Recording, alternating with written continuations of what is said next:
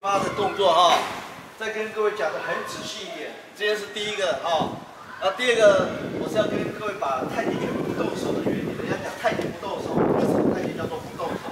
啊，动手非太极，到底有没有动手？啊，第二个太极不动手，动手非太极。太极动动手的定义是什么？要跟大家讲清楚啊。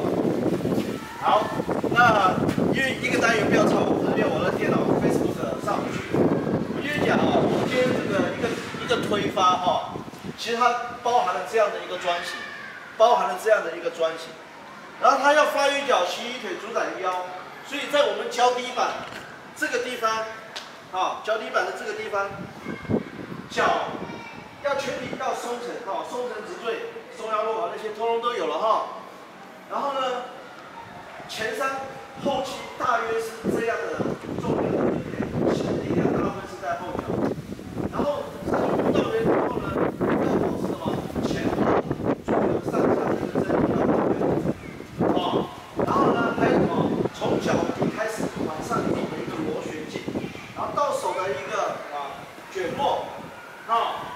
然后身体的打开，啊，脚底的这个折叠，这个就是脚踝啊、关节啊、胯啊、肩啊、肘啊，啊，这个就是弹簧，属于折叠的意思，啊，就是弹簧镜折叠镜。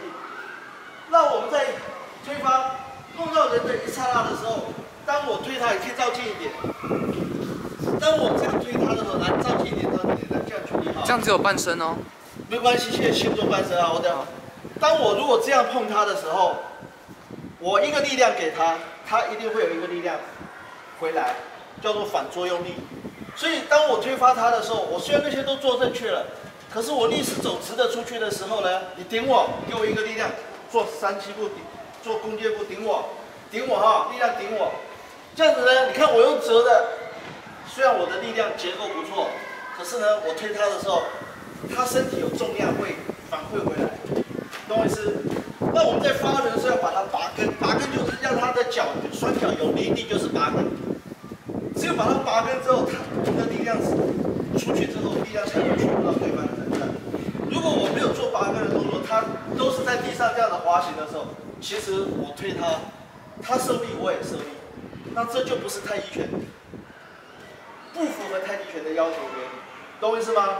所以。太极轻轻一伸手，你看我轻轻的一伸手哦，我现在做哦，你可以顶我，啊，给我力量，我轻轻一伸手，那我们在接触的时候有什么点线面体，就是粘连连水，在这里头，我们意念上有走一个四十，上面的四十五度或下面的四十五度，把它正面来的力量全部都化掉，懂我意思吗？哦，加上我刚才的所有的哈，你看啊，我上来以后，粘连连水。轻轻的，他就出去了，有没有？点我，我很轻哦，我刚很轻轻就碰他，点我，就你看，我手要推出，你感觉我推到了，我力量推出的那一刹那，你感觉我的力量有多少？你把我力量顶掉，你看，好不好？你看我，看好注意哦，你看我上来以后，哎，我刚才力量做直的，我就受力喽，因为他出去的就没有第一次那么漂亮。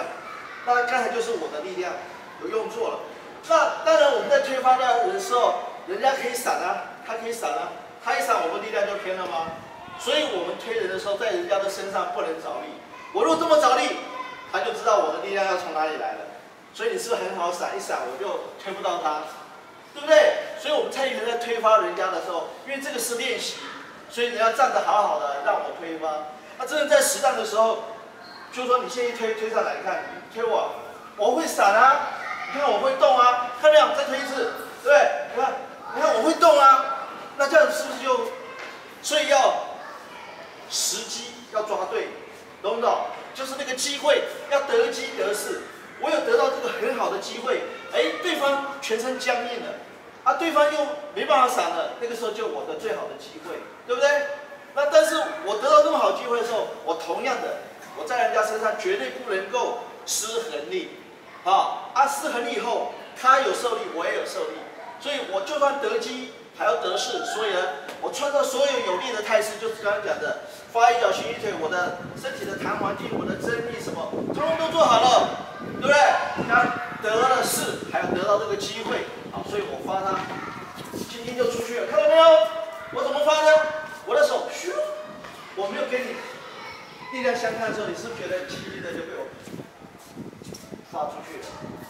对不对？那我你被轻轻发出去，感觉和刚才第二次我发你的时候，感觉有差吗？差在哪里？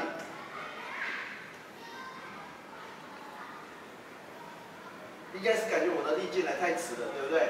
你就会胜利了，对不对？啊，我我把那个力同样是进来以后，那我们进进去不能够迟迟的进，要怎么进？在粘连处要走弧角弧形，要走螺旋的弧形，螺旋的弧形，懂吗？所以你看才有粘连连随粘连的螺旋，它就出去了，看到没有？所以我教你们的说，点线面体，点线面体的点线面体的螺旋手是